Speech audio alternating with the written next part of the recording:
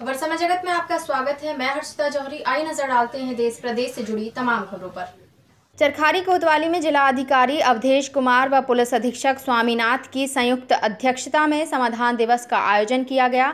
समाधान दिवस पर 12 प्रार्थना पत्र आए, जिसमें मौके पर पाँच शिकायती प्रार्थना पत्रों का मौके पर त्वरित निस्तारण किया गया।